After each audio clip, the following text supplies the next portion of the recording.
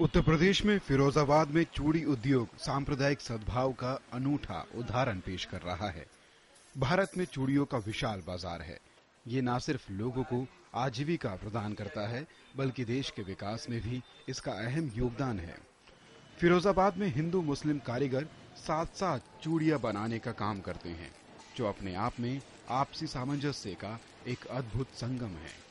फिरोजाबाद की चूड़ियाँ पूरे देश में प्रसिद्ध है। फिरोज़ाबाद से ही सारी चूड़ियाँ, कांच का जितनी भी वैरायटी है, चूड़ियाँ हैं, सब फिरोज़ाबाद से ही बन के जाती है। सबसे बड़ी बात फिरोज़ाबाद की ये है कि एक सद्भावना का भी प्रतीक है, क्योंकि हमारा यहाँ पर मुस्लिम भी, हिंदू भी सभी चूड़ियाँ कारीगर मिलके बनाते हैं और सारी हिंदू महिलाएँ जो करवा चौथ का व्रत रखती हैं, सारी की सारी महिलाएँ इन सभी की बनाई हुई चूड़ियाँ पहनती हैं। चूड़ी उद्योग में लगे हिंदू, मुस्लिम समुदाय के कारीगरों के बीच सामाजिक सौहार्द और सांस्कृतिक एकता लोगों के बीच मतभेदों को दूर कर एक समग्र संस्कृति पैदा करने का अद्भुत उदाहरण है। ये कारीगर बड़ी ही बारीकी और सावधानी से एक एक चूड़ी बनाते हैं। फिरोजाबाद में चूड़ी व्यापार, हिंदू मुस्लिम भाईचारे का एकता का एक प्रतीक तो है ही, साथ ही साथ ये लोगों की आजीविका का प्रमुख साधन भी है। Bureau report D news.